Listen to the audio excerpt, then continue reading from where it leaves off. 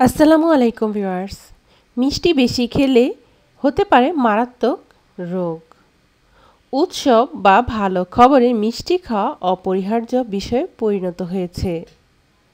আবার মিষ্টি খাওয়া অনেকের অভ্যাসও, তবে এর কিছু সমস্যাও আছে। আপনি জানেন কি, মিষ্টি খাবার খেলে সাতটি বড় ধরনের সমস্যা হতে পারে। বর্তমানে বহু মানুষই অতিরিক্ত চর্বির শিকার হয়ে থাকেন। এই সমস্যাই বর্তমানের অন্যতম প্রধান সমস্যা।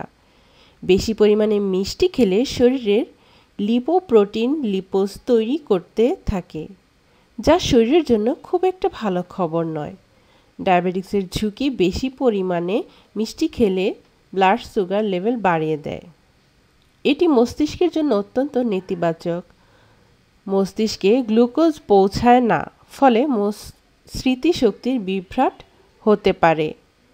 বেশি পরিমাণে মিষ্টি খেলে শরীরে আলস্য লক্ষ্য করা যায়। ক্যালোরি ছাড়া কিছুই পাওয়া যায় না।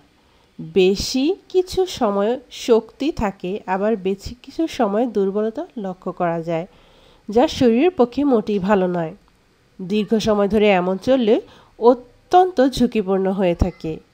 বেশি পরিমাণে মিষ্টি খাবার দাবার খেলে বয়সের আগেই দেখতে বৃদ্ধ লাগে। বেশি পরিমাণে মিষ্টি খেলে ত্বকে দানা দানা বেরিয়ে থাকে। এছাড়াও শরীর নানান ধরনের সমস্যা সৃষ্টি হয়। মিষ্টি জাতীয় খাবার দাবার ইমিউনিটি বা প্রতিরোধ ক্ষমতার জন্য ভালো নয়। বেশি পরিমাণে মিষ্টি খেলে ইমিউনিটি আস্তে আস্তে কমতে থাকে। ফলত তাড়াতাড়ি শরীর খারাপ হতে থাকে। বেশি পরিমাণে মিষ্টি খাবার খেলে যকৃতে বেশি পরিমাণে পরিশ্রম করতে হয়। এর ফলে যকৃতের চাপ পড়ে শরীরের লিপিডের পরিমাণ বেড়ে যায়।